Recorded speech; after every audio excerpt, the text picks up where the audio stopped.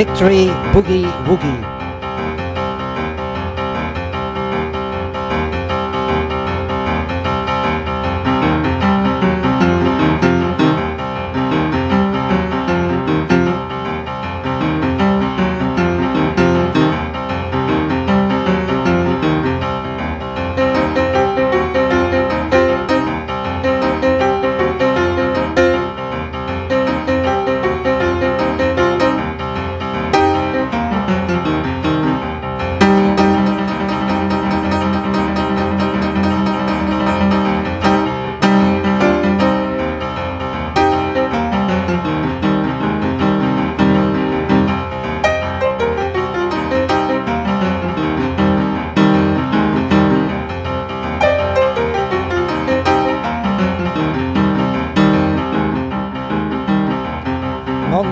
Dutch painter, spent most of his life abroad.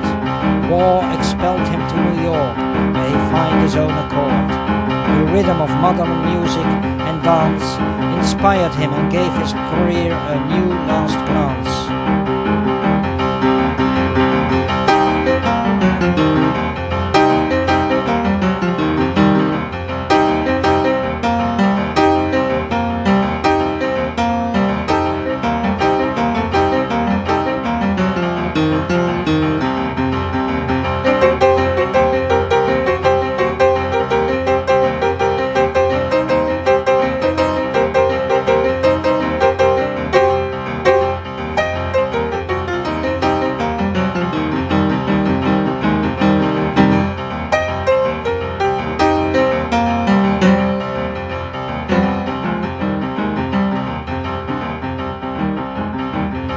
Finally, The Hague obtained his last creation, Victory Boogie Woogie. Composition of primary colors succeeded with black and grey on virgin white, partly sticked with true scotch tape, framed in a strange lozenged shape.